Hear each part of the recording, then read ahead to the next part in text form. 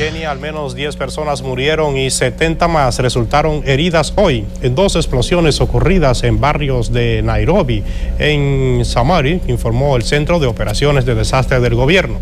La primera de las explosiones se registró en un Matatu, populares eh, furgonetas del transporte público, mientras que la segunda ocurrió en el mercado de Gikomba y al parecer ambas fueron provocadas por bombas artesanales.